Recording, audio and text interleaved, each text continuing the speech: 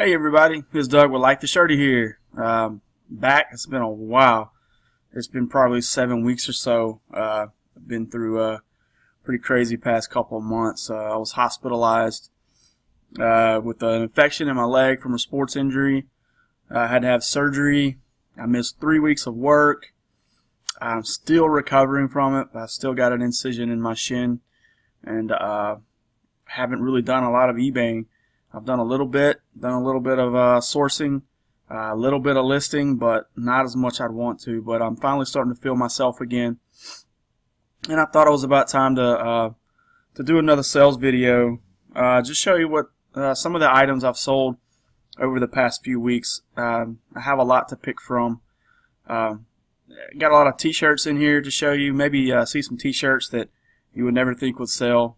Um, I'll show you uh, how much they sold for me and uh, just some of the other items. I got a, you know some hot items that I always pick up uh, that maybe I can um, you know help you out with, and uh, so you might can pick up next time you see them. Uh, but moving right along, uh, the first item I have here is this is kind of a crazy item here.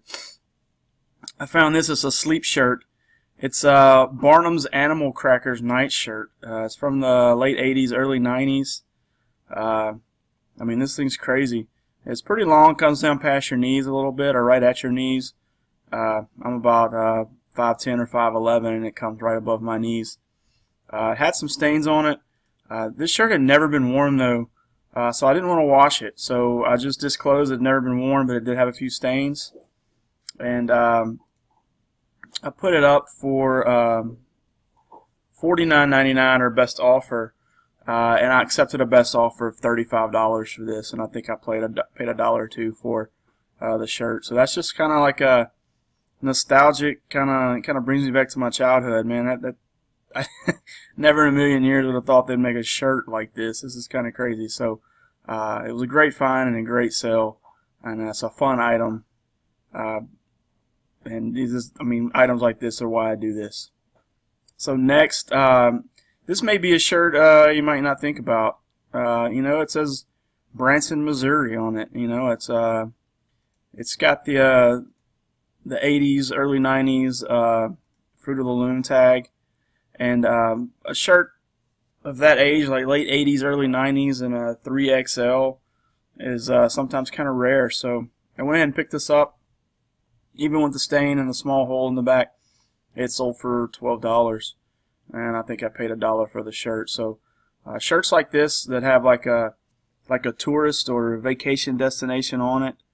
Um, you know, uh, Branson has a, a, a, big tourist attraction to it, so uh, I went ahead and picked it up, and it was a good sell. Next, this is just uh, a Billabong. I know you've seen probably Billabong shirts uh, while you're thrifting all the time. Uh, this one was not faded. Uh, so had good coloring to it, no holes or anything like that. And um, so I went ahead and picked it up. I think I picked it up for a dollar or less than a dollar, and just thought I'd give it a try, throw it up in my store, see what happens. And it sold for $12.99 with free shipping. So uh, you know, I, I, like shirts like this. It's not a ton of return, but uh, I like having shirts like this. Keep people coming back to buy some cheap T-shirts, especially when I can get them for a dollar. Next, um, Here's another one you, you might not think about picking up, but you know this is uh, this is a uh, early '90s, uh, just a a shirt about the city of Atlanta. Things are happening. It's got the peach on it with Atlanta, and if you look real close, you can't really tell in in this picture, but um, it got paint on it that's kind of glittery. I don't think it is glitter, but it kind of reflects off the light. So I thought that was kind of cool. It was a 2X. I uh, went ahead and threw it up there for 15 bucks, and somebody bought it for $15 free shipping. So I bought the T-shirt for like a dollar. Next is a uh, vintage Reyn Spooner. Uh, the Reyn Spooner. Uh, this is from the early 90s, late 80s. Um, this one actually stayed up longer than I expected it to. It's been up in my store for uh, probably eight months or so, uh, but it finally sold. I think I had this as high as $45, but it finally sold for $29.99 free shipping. And, uh, you know, you can get these for three or four bucks um, in the short sleeve button up section. So uh, good return on that one. And Reyn Spooner is just always uh, a brand you want to pick up, whether it's vintage or not. Reyn Spooner is uh, one of the top Hawaiian shirt uh, brands uh, you can find. Next, and here's a, I don't know how far this brand makes it throughout the country, but in the South, uh, Vineyard Vines is really big. It's a preppy, uh, it's a preppy uh, clothing clothing line. Uh, Vintage Vines, Southern Tide, Southern Marsh. You can throw Lacoste. Everybody knows Lacoste, but you know those type of preppy uh, type clothes um, is what this is, and it's real big in the South. So I found this shirt for a dollar, uh, and it says just Vineyard Vines on it right here. It's got the well, and it says y'all. You know, you hear y'all in the South a lot, so uh, uh, this one sold no problem. I think it took about four days for this to sell at $18. I probably could have sold it for higher. But this shirt's only about $30 brand new anyway, so um, I went with $18 and it worked out. So I'm pretty happy with that. Next, uh, so, I mean, Christmas, peanuts, no brainer. If you can get it for a dollar and it's in good shape, no brainer. So, uh, I've got a little thing I'm trying out uh, in the off season when it's not close to Christmas. I'm kind of upselling the Christmas items that I put in my store. So uh, I put $19.99 on this one. I probably regularly would have put like $12 on this, um, but it still sold. Sold uh, in the summertime. It sold. So uh, people are still looking for peanuts and Christmas uh, T-shirts for whatever reason. Um, so you know, still buy your Christmas items, especially during the summer, and uh, upsell them. Put a put a high price on them. And then uh, what you can do when it gets you know close to Christmas, maybe a couple months out, month and a half, uh, do a sale for like 15% off, and you know you might have some good luck there. Next, of course, always pick things up like this, especially when the movie's hot. Uh, Deadpool T-shirt, great condition, size large, so it's a an average size. Um, so it, it looked like it had hardly ever been worn. I put new without tags, just the condition. Put $12.99 on it, and somebody bought it, no problem. So uh, that's probably about the price you can get a new one for, $15, maybe $20. But I didn't see many that were just like this, so that's why I put $12.99 on it. Otherwise, if there were a bunch of them, I might have said $9.99. Uh, $12.99, pay a dollar for the t-shirt. So great sale in my book. Next, we've got vintage Guess jeans. So uh, I had these. Um, I sold these once before. I can't even remember if I put it in a video or not. But I sold these once before, and uh, the buyer got them, and they loved the jeans, but they just didn't fit them right. So they asked for a return, and I accepted the return.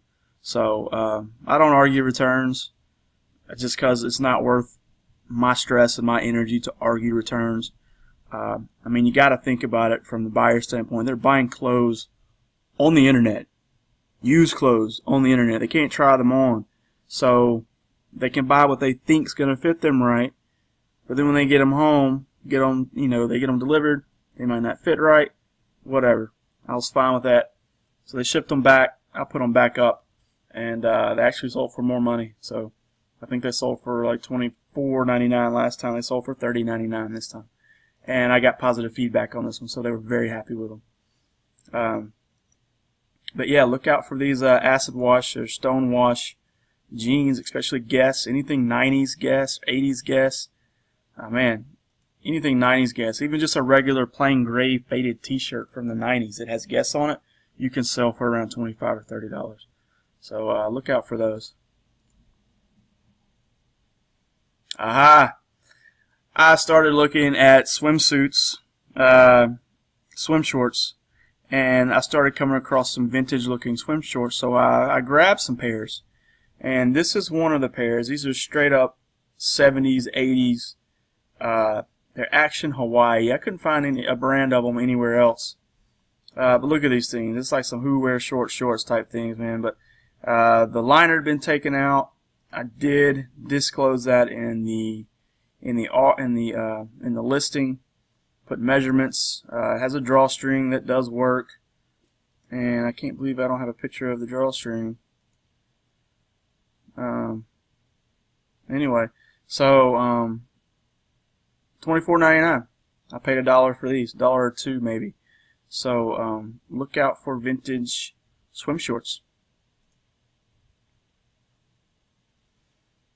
Alright, you heard me talk about 90s Guess. 90s Tommy Hilfiger. Uh, Hilfiger denim, Tommy jeans, uh, Tommy Hilfiger, I mean anything Tommy from the 90s. And how can you tell it's from the 90s? Well, it has this big, ugly, gaudy uh, tag right here. They're a lot smaller now. Some of them are sewn in. Uh, but when they're this big, you know it's from the 90s. And I mean, this was just a cool shirt. It had the emblem on the uh, sleeve as well. And um, I mean, it says Tommy Big jeans on the back. I mean, I knew this would sell. Uh, thought about listing it for thirty dollars, but I listed it for twenty instead. I think it was in my store for about four days, and it sold. No issue. Paid a dollar for it. Good sale right there. Uh, back to um, swim shorts. Now, I didn't know if these were vintage or from the 90s or not, but so Polo Sport. Anything Polo Sport you need to get. Polo Sport sells better than Polo by Ralph Lauren. I mean, it's still Ralph Lauren, but Polo Sport, for some reason, has a larger following uh, than just the regular Polo. So people love these Polo Sport items, t-shirts, Polo Sport jeans, and in this case swim trunks. This was a rare auction that I did. Just want to see what they would go for. I think I started at 19.99. No, no, no. Sorry, 9.99, and they sold for 17.50 with six bids. So um, pretty happy with that. Uh, I started them at 14.99, not 9.99. But regardless, uh, pretty happy with that sale. I think I paid two dollars for the shorts, and uh, I'm going to be looking out for these from now on. Then got another pair of shorts here. Let me see. Uh, yes, I do. So these were kind of crazy. Um, sold these for $19.99. I only had one bid. I was a little disappointed I only had one bid, but these are some 90s Reebok um, swim shorts, just decked out in the American flag. So this was an easy pick for me. I think I paid two dollars for these as well, and um, they only lasted for one auction round. So I was I was gonna put them up for about 30 bucks buy it now if they didn't sell. But uh, I'm pretty happy with this. So like I said don't, don't pass up the swim shorts especially this time of year.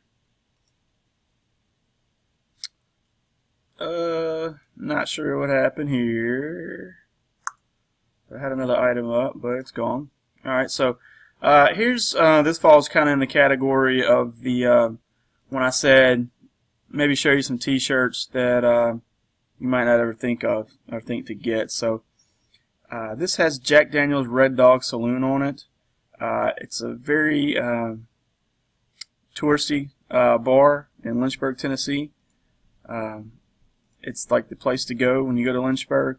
So anytime you see T-shirts that have places like this, so like if you see stuff from Florida or any like vacation destinations that have like a bar or something in that area, uh, those are good t-shirts to pick up, like if you can grab them for, you know, under $2. Great t-shirts. People always uh, look for t-shirts like that, especially if they're going to be going there or something like that, you know. So um, this was up in my store for about two weeks. Somebody bought it $14.99 plus $2.99 shipping, so uh, very happy with that.